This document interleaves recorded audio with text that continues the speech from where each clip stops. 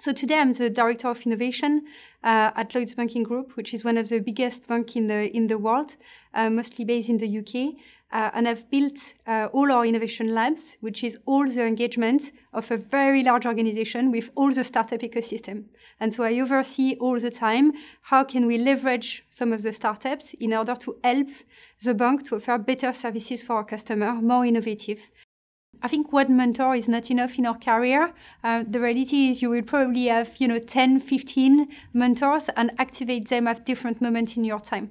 Uh, but the value of mentorship uh, is very important uh, in order to build uh, more awareness of the different jobs that can open. In my leadership journey, there were three skills I exhibited that really helped me. The first one was resilience uh, through the different situation.